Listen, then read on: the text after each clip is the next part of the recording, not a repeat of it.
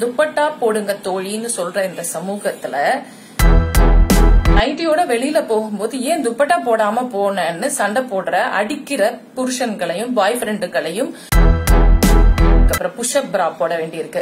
இதை போட்டா வந்து ஆண்கள் எப்படி கமெண்ட் அடிக்கிறாங்கன்னா இவளுங்க மாற பெருசா காமிச்சுக்கிறதுக்கு இதெல்லாம் பெண்கள் பேச வந்தா எப்ப பார்த்தாலும் அவளை வந்து பிச்சுன்னு சொல்றதை தாண்டி இந்த ஆணாதிக்கம் உருவாக்குனது யாரு? இந்த ஆணாதிக்க சமூகம் தானே? ஒரு ஆம்பளைக்கு அந்த தேவை இருக்கிறதுனால தானே ஒரு பொண்ணு மாதிரி இருக்குது. இவ்ளோ பெருசா இருக்குது. இப்படி எல்லாம் பேசிட்டு திரிகிற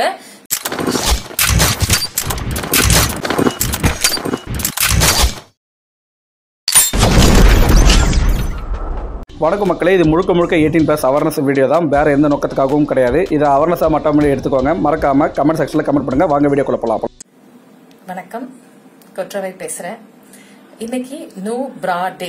அதாவது உள்ளாடை அணிய தேவையில்லை அப்படின்னு ஒரு ஹேஷ்டேக்ல ஒரு விழிப்புணர்வு பிரச்சாரம் நடக்குது. குறிப்பாக பெண்களுக்கு ஏற்படும் மார்பக புற்றுநோய் குறித்த ஒரு விழிப்புணர்வை ஏற்படுத்துறதுக்கான ஒரு தினமாக இது கருதப்படுது.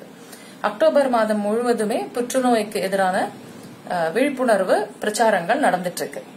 இதுல குறிப்பாக இன்னைக்கு நோ பிரா டே அப்படின்னும் பொழுது பெண்கள் உள்ளாடை அணிவதால் எவ்வளவு சிரமத்துக்கு உள்ளாகிறாங்க அப்படிங்கிற கூறுணர்வே இல்லாத இந்த சமூகம். துப்பட்டா போடுங்க தோழின்னு சொல்ற இந்த சமூகத்துல பிரா போட தேவையில்லை.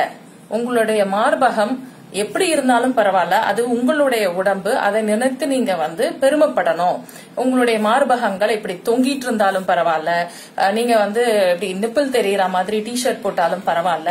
மார்பகம் சின்னதா இருந்தாலும் பரவாயில்ல பெருசா இருந்தாலும் பரவாயில்ல இப்படின்னு சொல்லி நான் வந்து ஒரு போஸ்ட் போட்டேன். வழக்கம் போல சூழ்ந்துட்டாங்க. சங்கிகளும் ஆணாதிக்க பன்றிகளும். பன்றிய நான் வந்து குறைவா பேசல but that's the word that I could get இதுக்கு இதே வேலை. பப்ளிசிட்டிக்கு என்ன வேணா பண்ணோம். நான் பார்க்காத பப்ளிசிட்டியும் இல்ல லைம் லைட்டும் இல்ல. கொற்றவை ஆகிறதுக்கு முன்னாடி நான் என்னவா இருந்தேங்கிறத நான் ஆல்ரெடி என்னோட பேட்டியில சொல்லியிருக்கிறேன். போய் பாருங்க. ஒரு பிரா அப்படிங்கிறது உடலோட எப்ப பார்த்தாலும் இறுக்கிக்கிட்டு இருக்கும் பொழுது ஒரு பெண்ணுக்கு அது எவ்வளவு தொல்லையா இருக்குங்கிறத அது மாதிரி நீங்க எதையா மாட்டிக்கிட்டு தெரிஞ்சாதான் தெரியும். ஒரு நைட்டி போட்டுட்டு இருந்தா கூட அந்த நைட்டியோட வெளியில போகும்போது ஏன் துப்பட்டா போடாம போனேன்னு சண்டை போடுற அடிக்கிற புருஷன்களையும் பாய் ஃப்ரெண்டுகளையும் அல்லது பெற்றோர்களையும் நான் பாத்திருக்கேன் இன்னும் சொல்ல போனா அது மாதிரி துன்புறுத்தி துன்புறுத்தி ஒரு பெண் கடைசியில விவாகரத்து வரைக்கும் போயிட்டா. அதே மாதிரி எனக்கு இன்னொரு ஒரு அனுபவம் இருக்கு. நான் வந்து ஒரு நாள் டைடல் பார்க் எதிரில் ரோட்ல நடந்து போயிட்டு இருந்தேன் இத்தனைக்கும் அன்னைக்கு சுடிதார் போட்டிருக்கிறேன் பிரா போட்டிருக்கிறேன். ஆனா அதையும் மீறி நிப்பிள் வந்து வெளியே தெரிஞ்சிருக்கு. பிகாஸ் ஆர்டினரி பிரா சாதாரண பிரா பேட் இல்லாம இருக்கிற பிரால வந்து அப்படி நிப்பிள் வந்து துருத்திட்டு தெரியறதுக்கு வாய்ப்பு இருக்கு. இதையெல்லாம் பாத்துட்டு இருக்கிறதுக்கு எங்களுக்கு நேரமும் இல்ல அவசியமும் இல்ல. எனக்கு எது சரியா இருக்குதோ அதை நான் போட்டுட்டு வெளியில வரேன். யாரோ ஒரு பொண்ணு கூட பேசிட்டு இருக்கிற ஒரு ஆம்பளை வந்து பாரு எப்படி ட்ரெஸ் பண்ணிட்டு தெரியுதுங்க? அப்படின்னா நாம அப்படியே கடந்து போற ஆள் கிடையாதுல்ல. கிட்ட போய் என்னடா அவன் பிரச்சனைன்னு கேட்டவொடனே அப்படியே வந்து தடுமாறுறான். அப்புறம் என் கூட வந்த நண்பர் என்ன கூட்டிட்டு போயிட்டாரு. இப்போ இந்த பிரச்சனையினால என்ன அப்படின்னா பெண்கள் எப்ப பார்த்தாலும் பிரா போடுறது மட்டும் இல்லாம இது மாதிரி நிப்பிள் தெரியக்கூடாது இல்ல பிரஸ்ட் சாக் ஆகிற மாதிரி தெரியக்கூடாது அப்படிங்கறதுக்காக பேடட் பிரா போட வேண்டியிருக்கு அதுக்கப்புறம் புஷ்அப் பிரா போட வேண்டியிருக்கு. இதை போட்டா வந்து ஆண்கள் எப்படி கமெண்ட் அடிக்கிறாங்கன்னா இவளுங்க மாற பெருசா காமிச்சுக்கிறதுக்கு இதெல்லாம் பண்றாளுங்க அப்படின்றாங்க. அதுவும் கூட வந்து பெண் உடல் பற்றி அல்லது பெண்ணுடைய கவர்ச்சிகரமான உடல் அ- அழகு பற்றிய கருத்தியல்னால பாதிக்கப்பட்டிருக்கிற பெண்களுக்கு அது தேவைப்படலாம். தொழில் சார்ந்து அது தேவைப்படலாம்.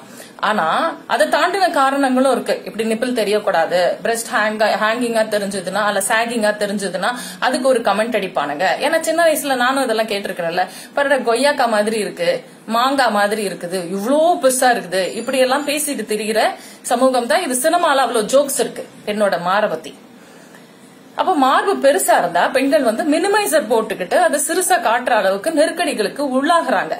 இதையெல்லாம் வந்து துணிந்த பெண்கள் பேச வந்தா எப்ப பார்த்தாலும் அவளை வந்து பிச்சுன்னு சொல்றதை தாண்டி இந்த ஆணாதிக்கவாதிகளுக்கு வேற ஒண்ணுமே தெரியாது. நாங்க எங்க உடம்ப காமிச்சிக்கணும் காமிச்சிக்க வேணாம் அப்படிங்கறது எல்லாமே எங்களோட விருப்பத்தை பொறுத்தது. நீங்க யார் அதை கண்ட்ரோல் பண்றதுக்கு? ஒரு விழிப்புணர்வு பிரச்சாரத்துல ஒருத்தர் ஈடுபடுறாங்கன்னா அதுல இருந்து முடிஞ்சா கத்துக்கோங்க. இல்லையா மூடிட்டு கடந்து போயிருங்க.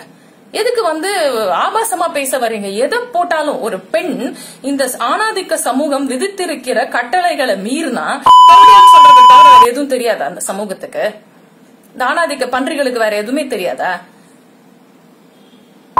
தேவடியாத்தனத்தை உருவாக்குனது யாரு? இந்த ஆணாதிக்க சமூகம் தானே. ஒரு ஆம்பளைக்கு அந்த தேவை இருக்கிறதுனால தானே ஒரு பொண்ணை தேவடியாளாக்குனாங்க அப்போ தேவடியாட்ட போற ஆம்பளை என்ன சொல்லுவீங்க ஒழுங்கா பொண்டாட்டியோடயோ காதலியோடயோ இருந்தா அங்கேயே ஒரு உருவாக்க ஒரு ஆணாதிக்க சமூகம் தான் தேவடியாத்தனத்தை உருவாக்குது. இதையெல்லாம் தெரிஞ்சுக்கிட்டு பேசவாங்க. இன்னைக்கு ஒரு விழிப்புணர்வை ஏற்படுத்த முயற்சி பண்றோம் பெண்கள். வீட்டுல இருக்கும்போது கூட உள்ளாடைய அணிய சொல்ற அளவுக்கு நெருக்கடி. ஏன்னா வீட்டுல குடும்பத்தாருக்கும் அது தெரியறது இல்ல என்ன இப்படி வளர்த்து வச்சிருக்க பொண்ண?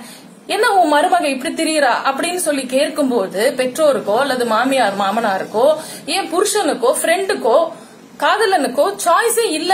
அவங்க அளவுல அவங்க முற்போக்கா இருந்தா கூட அவங்களையும் அப்படி ஒரு நெருக்கடிக்கு தள்ளுறது.